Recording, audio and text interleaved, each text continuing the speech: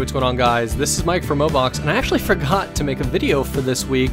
Um, so what I'm just going to do is I'm just going to kind of do a little kind of giveaway thing. So I'll kind of show you how to do this this kind of technique and then I'll add the um, project file in the description for you to download and use and do kind of whatever you want to do with um, and use maybe in your own application. So I'm just going to open up After Effects here.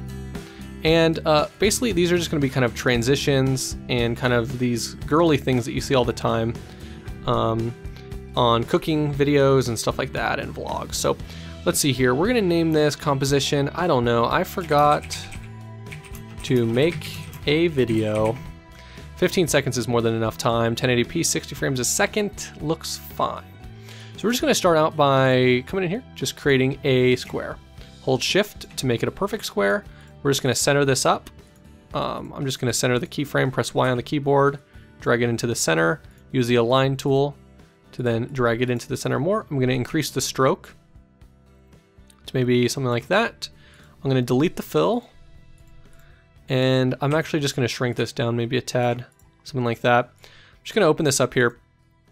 We're going to add an animation. We're going to add trim paths. So let's see, how do we want to do this? Let's how do let's see how we want to do this animation. So we want it to be fully open at this point, so we'll set keyframes there.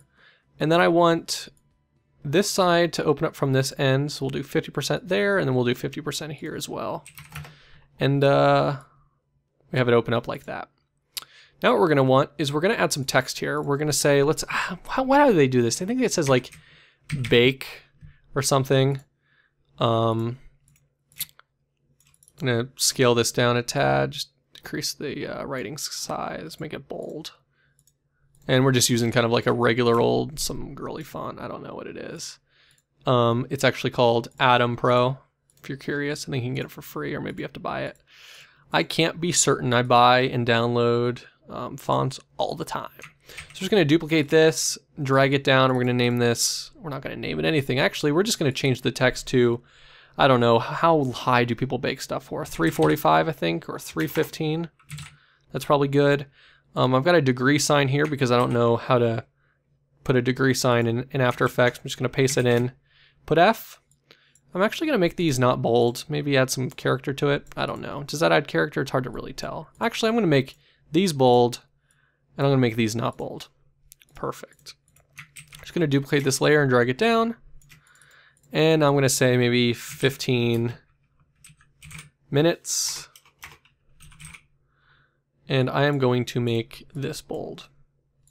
I'm also going to make these layers a tad smaller. So I'm going to make this maybe 125 and then the 135 down to 125. Just to kind of, I don't know, add a little bit more character to it. So you see this all the time. It's kind of like this little square thing and, you know, it opens up and it has some cute animations. And the way they get these animations in is they don't make something that looks like that. They make something that looks like that. I'm just going to decrease the opacity, press D on the keyboard. I'm going to set that center point on that end of the object. I'm just going to drag this down until it's kind of, I don't know, it looks like it's in the center of the object. And I'm just going to drag that down, duplicate this layer, Control D, drag it down until it looks like it's in the center, pull it down, Control D, drag it down again, and I'm going to drag it over there. I'm also going to grab this 15 minute and I'm just going to drag these down a little bit. Then I'm going to grab these objects as well as the bake and the 350, 315 drag these up a tad. I'm just going to, actually what I'm going to do is I'm just going to take this, I'm just going to line this right into the center. Makes it simple. That's perfect. So now what I'm going to do, I'm actually going to drag the, these out just a tad bit, just kind of, I don't know, make it a little more even. Press T on the keyboard, increase the um, opacity. Now what I want these shapes to do is I want these to scale. So I want them to not scale in X and Y. I want them to only scale in the X. So I'm unchecking that chain. I'm going to change these to zero. But first what I'm going to do is I'm actually going to copy these keyframes. I'm going to move these keyframes down and then change it to zero that way. That way we get some motion that looks like that. Um, and then what I'm going to do is I'm actually going to, hmm, how do I want to do this? So, okay, let's do it like this. Let's create a mask on each of these layers. Right click, just go to the top, new mask. I'm actually going to put these in order. That way it's easier to kind of distinguish. I'm just going to select them all and press M on the keyboard. And you'll see there's mask path here. I'm just going to create paths. Highlight all the layers, press U on the keyboard so I can see all the keyframes. I'm going to make just extend this up just a tad. And now let's see kind of what we want to do here. So we want the mask. So let's see what happens with the mask. The mask scales with the layer. We kind of like that. But what we kind of also want, hmm, how do we want to do this? So we could set, okay, so it opens up just as we want, and then we could have the path. Click on the path and just drag that over to there. We're going to do the same on all of these. Select the layer and drag these over. see what kind of effect that this gives us. There it is. So it kind of gives it a nice effect. I'm just going to line up these keyframes here.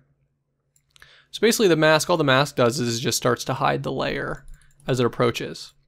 So we're going to tighten these up just a tad. We don't need these to be that long, so we only need these to be like maybe half a second. Then we need these keyframes to maybe be just under a second. Hold Alt, just tap a couple times, kind of just. I kind of like when it's kind of snappy, so it kind of it covers and then it goes across. Um, okay, well, these keyframes are kind of messed up. We're just to go over this. We're to make sure these mask paths are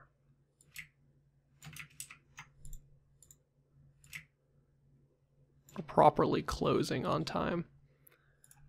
Just to make it perfect. I don't know. You don't have to make it perfect. It's up to you. You know, what I learned is that if you put in the extra time and just make it right the first time, it saves you so much time later and it just looks better. So now we could add some snappiness. We could right click, go down to keyframe interpolation or keyframe assistant and add some easy ease. Or we can go into the um, graph editor. I've got a tool over here. It's really great. Get it at mtmograph.com slash motion, I believe. I'm just gonna add some motion here. See what that does, see what that gives us. All right, a little slow. Just gonna hold all the keyframes, hold Alt, and just drag these in. See kind of what that gives us. So at this point, we want these to come into existence. So we want it to come across just like that. We could even do this is we could stagger these. One, two, three, four, five. One, two, three, four, five. So now these might have some staggerness to them. Just got to make sure these line up properly and that it doesn't reveal the text too soon. So we want that one to re reveal the text there, the last one, and we want this one to reveal the text at that point. Oh, oh, these are out of order. Bake, 15 minutes. There's the problem. Perfect. Just like that, you just create a really simple transition. Now we can line up these keyframes so they kind of make a little more sense within the composition. Might add some snappiness to these as well down here. Ooh, what we forgot to do is we forgot to move these over. That should be good.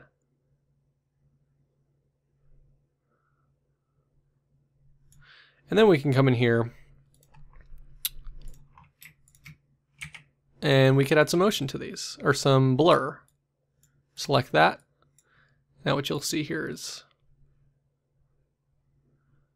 perfect. And then all we have to do, let's see, if we control D to these layers, and then we drag these out back here, maybe to here kind of maybe makes a little bit more sense. Basically what we did, we just duplicated those shape layers. And then